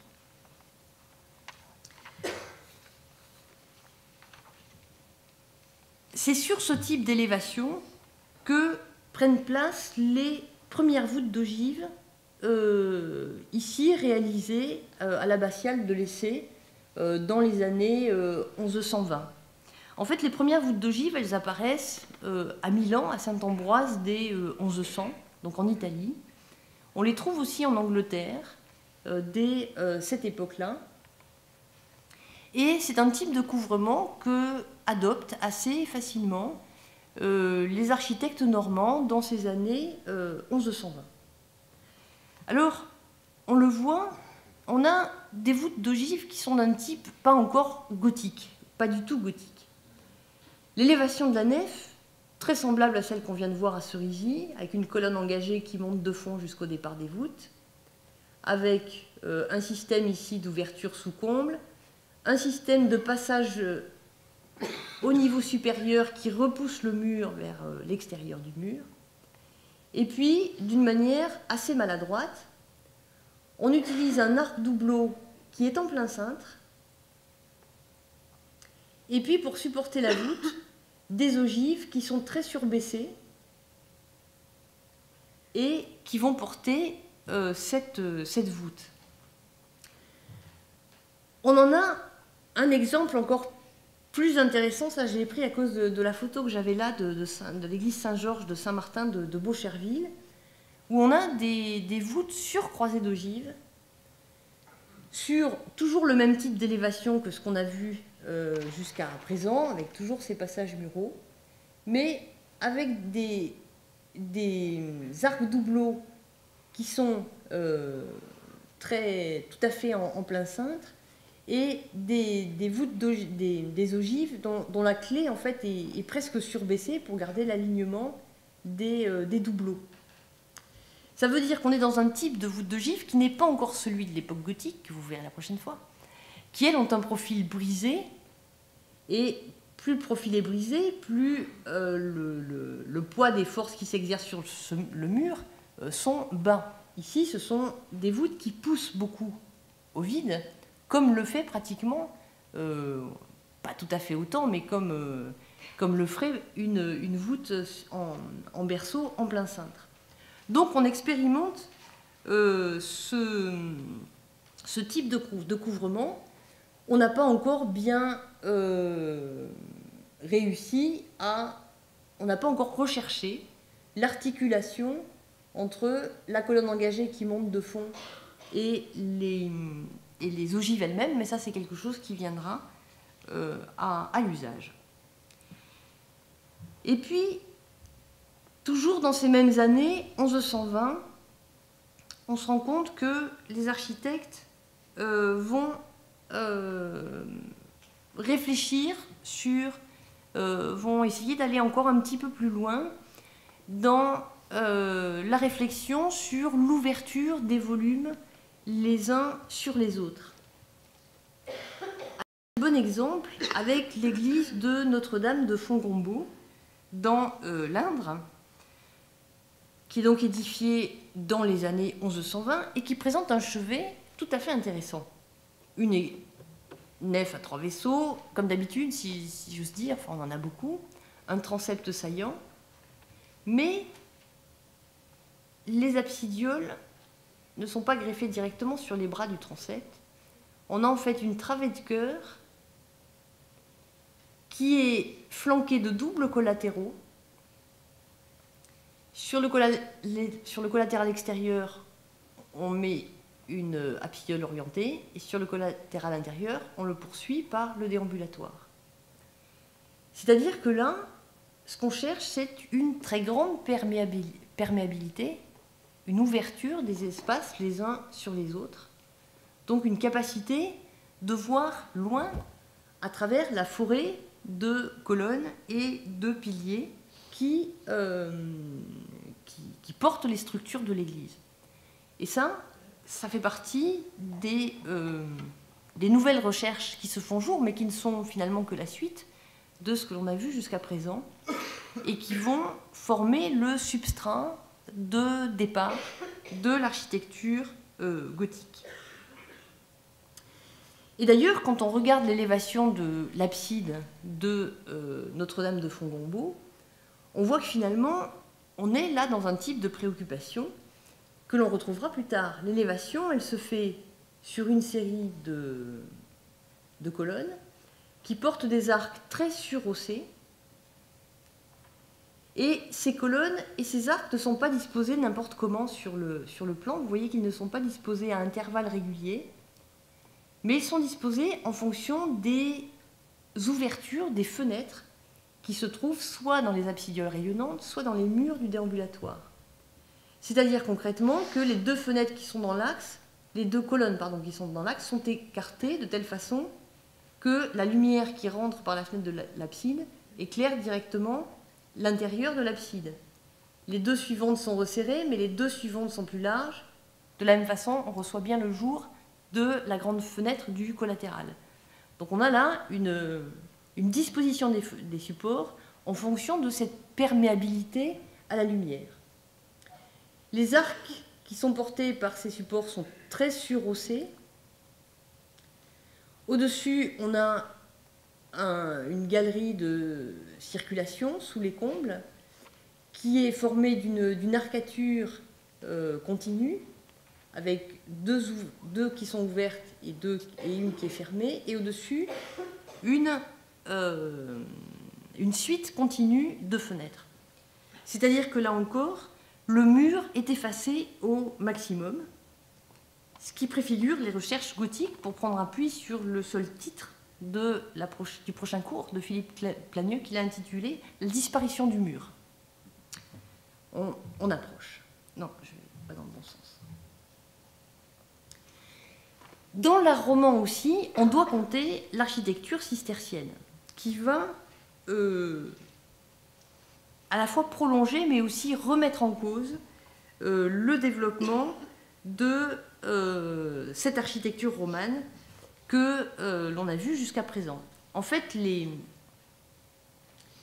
vous connaissez les débuts de, l'ordre cistercien, mais il n'est pas le seul, qui donc démarre à la toute fin du XIe siècle, en 1098, avec un regroupement d'hommes qui veulent revenir. Et là, on est aussi dans la suite, c'est l'un des rameaux finalement de la réforme grégorienne, cette réforme qui traverse toute l'Église pendant tout le XIe siècle, mais qu'on appelle réforme grégorienne du, nom du pape Grégoire VII, entre 1075 et 1087, quelque chose comme ça qui voit l'un des apogées de cette réforme grégorienne. Mais le, but de cette réforme, c'était que le clergé revienne à des principes de vie dits apostoliques, c'est-à-dire une vie en communauté et où chacun, chaque ecclésiastique ou membre de l'Église ne possède rien en propre, c'est-à-dire à, l'égal des disciples au lendemain de euh, l'ascension. Donc on a un vrai désir de retour à une sorte de pureté des origines. Sauf que pour les bénédictins ou les clunisiens, ne rien posséder en propre, d'accord, mais ça n'empêche pas que les ordres soient riches et expriment cette richesse comme euh, au service de la glorification de Dieu par les monuments les plus extraordinaires. Euh, donc l'uni est euh, absolument le, parangon. Un des rameaux de cette, dans la suite de cette réforme grégorienne, on va avoir donc cet ordre cistercien qui, qui s'exprime là d'une manière beaucoup plus radicale. En fait, euh, vous connaissez les, fondateurs de l'ordre de Cîteaux, euh, Robert de Molène, euh, Albéric, Étienne Harding, qui fondent le, nouveau monastère en 1098. Et puis en 1112, il y a un moment important, c'est l'arrivée de Bernard de Fontaine avec 30 recrues qui va plus que doubler les effectifs de l'ordre et qui va lui donner une impulsion tout à fait prépondérante, le futur Bernard de, de Clairvaux. Et donc, ils vont revenir, reprendre appui sur des, points qui étaient euh, des points euh, essentiels. Cette pauvreté absolue, cette rigueur absolue, vont pousser euh, les choses jusqu'au bout. Ils vont revenir à une espèce de, une sorte de, de vie monastique idéale qui passe par un plan monastique idéal, dont le plan de Saint-Gall était déjà la traduction. Mais euh, tout en disant cela, je me rends bien compte que je, prends un petit risque parce que euh, les, premiers cisterciens ont conçu leur monastère comme des cités idéales sur le plan de l'organisation. C'est-à-dire que euh, on doit prévoir toutes les choses matérielles possibles et nécessaires à la vie de la communauté, mais il ne faut pas pour autant en déduire qu'il existe un plan type de monastère euh, tel qu'on a pu, euh, que Aubert ou Dimier ont pu le tracer par exemple. On verra, il y a des, similitudes, mais il n'y a jamais de plan type chez euh, les, cisterciens. Dans les, les, premiers bâtiments qui sont construits par les cisterciens au tout début de l'ordre, jusqu'aux années 1130, on n'en a pas conservé. Ils étaient probablement très, très minimalistes. Mais dès les années 1130-1140, euh, chaque communauté a à peu près les moyens de construire les édifices qui sont nécessaires, et les construire en dur, donc de manière pérenne, qui sont nécessaires à la vie euh, communautaire. Et on en a un très bon exemple, puisque l'abbaye de, de, Clairvaux ou de Cîteaux ont disparu. On a un très bon euh, exemple avec l'abbaye de Fontenay, qui est commencée dont l'église est commencée en 1139 et qui est à peu près achevée en 1147, au moment où le pape euh, Eugène, le troisième, qui était un ancien cistercien, vient la consacrer.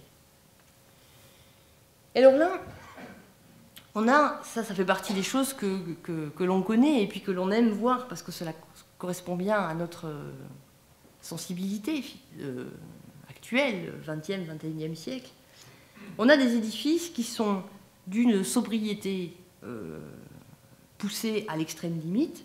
Vous voyez par exemple l'église de Fontenay sur la gauche, une longue nef à trois vaisseaux, un transept. Sur le transept, des chapelles qui sont alignées. Et là, finalement, avec cet alignement des chapelles de part et d'autre d'un chevet plat, on revient à des modèles qui sont des modèles de la première moitié du XIe siècle. On pense à Saint-Rémy de Reims, par exemple, avec toutes ces chapelles alignées. On est là dans un système qui euh, n'est pas euh, novateur en architecture. Par principe, les euh, premiers cisterciens et ceux de Fontenay en faisaient partie, vont refuser la ligne courbe.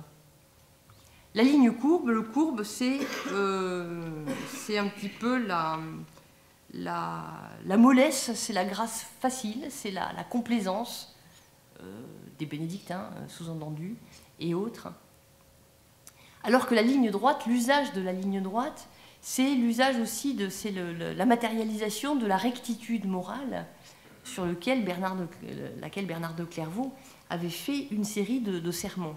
Et là, on va plier l'architecture aussi à cette idée qu'on a du monastère comme euh, révélateur euh, de la vie euh, qui s'y déroule à, l'intérieur. Vous le savez, les cisterciens ont refusé, au début tout au moins, tout ce qui pouvait être de l'ordre du superflu. Vous connaissez le fameux serment de Saint Bernard que viennent faire les monstres dans les cloîtres. Ça sert à rien pour la prière et ça au lieu d'élever l'esprit, ça le, perturbe, ça le distrait. Et donc on va refuser euh, tout décor. Et c'est comme ça que à droite vous avez une vue intérieure de la nef de euh, Fontenay, avec des chapiteaux qui sont toujours présents ici parce qu'ils sont pensés comme organes d'articulation entre la colonne engagée et l'arc de euh, la grande arcade, mais on lui refuse le plus simple, euh, ou on l'autorise à peine, à l'évocation d'une simple feuille. C'est-à-dire que on refuse le décor ostentatoire, mais on n'imagine pas pouvoir se passer de cette articulation des piliers, de la nécessaire correspondance entre chaque élément du pilier, par exemple ici du support, la colonne engagée et l'arc de euh, la grande arcade, ou la colonne engagée ici du côté de la nef qui correspond au doubleau de la voûte. Donc d'un point de vue structurel, on est complètement dépendant des choses qui sont devenues comme évidentes dans euh, cette architecture euh, romane. Par contre, on s'en tient, on recherche délibérément la pureté de la ligne. La même chose dans le cloître, quoique dans le cloître il se soit un peu plus laissé aller, avec des colonnes doubles, mais euh, un système le plus sur lequel la pensée glisse, et c'est cela qu'on cherche dans la pierre. Ceci dit, le vrai luxe de ces constructions cisterciennes, c'est la qualité extraordinaire de la taille de la pierre dans ces édifices, dont on a un autre exemple avec euh, le Toronnet. Là, je vous ai pris une des, des provençales. Vous voyez par exemple pour l'église du Toronnet, on utilise aussi les trois nefs, le transept saillant, les chapelles alignées certes à l'extérieur dans un mur euh, droit, mais à l'intérieur demi-circulaire, comme l'est aussi le euh, tracé de l'abside principale. Donc là, on voit bien qu'il n'y a pas de, de, de normes absolues. ce qu'il faut, c'est qu'il n'y ait pas de clocher, il ne faut pas qu'on dépasse une certaine hauteur, mais on a une qualité de la mise en œuvre des matériaux qui est tout à fait extraordinaire, et du point de vue de l'architecture, une, euh, perméabilité, une ouverture des espaces les uns sur les autres qui est d'une efficacité euh, absolue. Et là encore, pour ces édifices, on est dans les années, alors là le on est plus tard, on est dans les années 1160, 1175, hein. euh, on reste donc le, euh, on, reste dans des formes qui sont strictement romanes. On utilise naturellement le berceau brisé sur arc doubleau, mais on plie ça à des règles de vie qu'on veut d'une d'une austérité absolue. Ceci dit, austérité ne veut pas dire pauvreté dans cette architecture. Alors l'art roman, ça finit quand? L'art roman, ça finit très différemment selon les régions. L'art roman, vous le savez, dans, l'île de France, euh, il s'est jamais vraiment développé d'une manière aussi extraordinaire qu'en Bourgogne, en Normandie ou, en Languedoc. Mais à partir des années 1140, euh, en tout cas en 1160, c'est complètement terminé. Dans les pays du Sud, l'art roman, on va continuer à en faire encore jusqu'à la fin du XIIe, voire jusqu'au milieu du XIIIe siècle. Par exemple, avec Saint-Trophime euh, d'Arles, édifiée dans la seconde moitié du XIIe siècle. Alors avec aujourd'hui des modifications très importantes qui ont conduit à ce plan-là, mais l'église Saint-Trophime qu'on fait au XIIe siècle, c'est une église à trois vaisseaux avec des collatéraux très étroits, voûtée très haut par un berceau brisé sur des arcs doubleaux à double rouleau. Et euh, en Provence, c'est vrai que l'art roman, il dure longtemps, pour des raisons, et en tout cas dans les pays méridionaux, pour des raisons qui sont très probablement culturelles. Ce sont des pays de romanisation profonde et ancienne. Ce sont des pays où euh, l'Antiquité a marqué fortement le paysage et avec le paysage, les consciences dans le sens de éduquer le regard. Cette architecture antique des pays méridionaux, c'est une architecture qui promeut la muralité, parce que l'architecture antique est une architecture de murs, et c'est une architecture avec un certain type de décor. Dans, le XIIe siècle, et surtout dans la seconde moitié du XIIe siècle, c'est le moment où les pays méridionaux ont véritablement la capacité économique de faire des grands édifices, alors que l'Ouest l'a eu un petit peu plus tôt. Et à Saint-Trophime, c'est dans les années 1170 qu'on élève cette célèbre façade, qui a été restaurée il n'y a pas très très longtemps, je ne sais pas si vous l'avez vu, c'est une merveille absolue, qui reprend le décor d'un arc de triomphe euh, romain, avec cet avant-corps très saillant et cette élévation très euh, solennelle. C'est pire encore, si j'ose dire, c'est encore plus flagrant à Saint-Gilles-du-Gard, même si euh, l'abbatiale a pratiquement complètement disparu depuis les troubles protestants de 1562, mais on a gardé donc cette partie-là de la façade avec ces trois arcs euh, à peu près égaux en largeur, mais celui du centre est, plus haut, avec cette espèce, cette sorte de portique qui est suggéré par les colonnes qui sont euh, en avant, qui reprennent là l'idée de ces euh, fronts skenae, de ces murs de théâtre, de ces murs de scène des théâtres antiques, où on a là donc cette animation de l'architecture.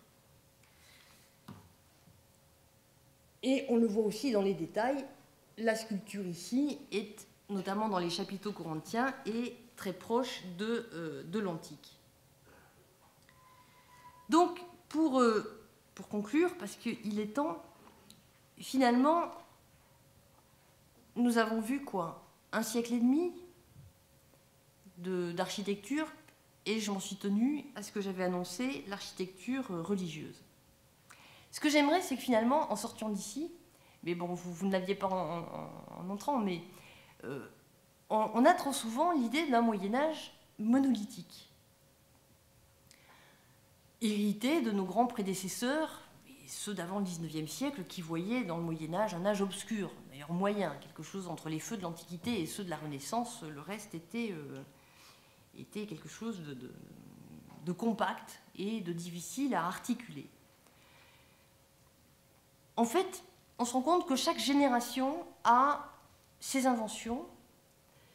Et en dernière analyse, ce qui me frappe le plus dans cette architecture, c'est que à la fois les architectes, c'est-à-dire ceux qui mettent en forme, et les commanditaires, ceux qui désirent et ceux qui payent, n'ont aucune barrière, ils n'ont aucune limite à l'invention.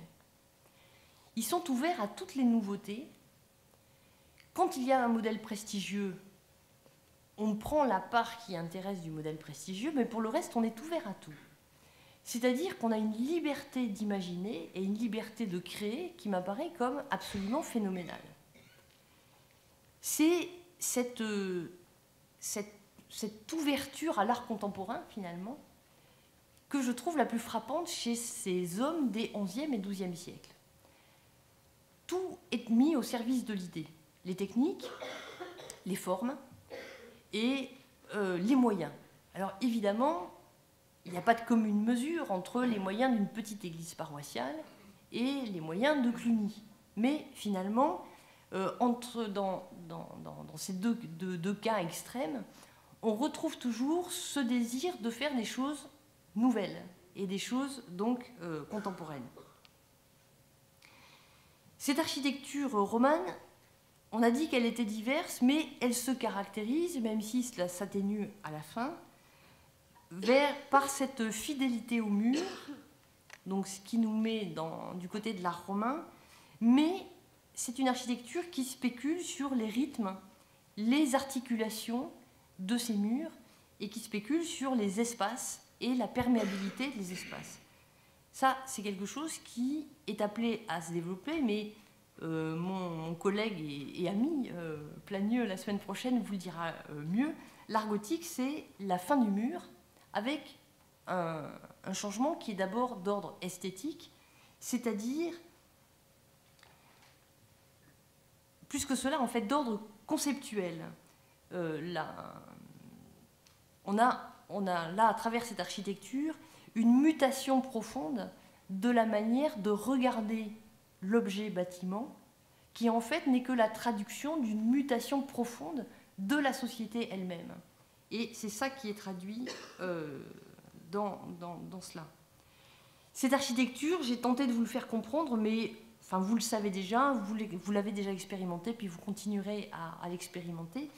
Euh, cette architecture ne connaît son aboutissement, n'est vraiment porteuse de tout son sens qu'avec l'image associée. Et ça, c'est quelque chose qu'il ne faut jamais oublier, à la fois comme organe d'articulation, puisque euh, les chapiteaux sont des, des, blocs importants du mur lui-même, mais surtout comme support de sens, d'un supplément de sens que l'on donne à, la pierre. Une dernière chose que je, qui m'est venue finalement en, préparant euh, ce cours, c'est que c'est vrai qu'il faut longtemps pour construire ces édifices, mais finalement, pas tant de temps que ça.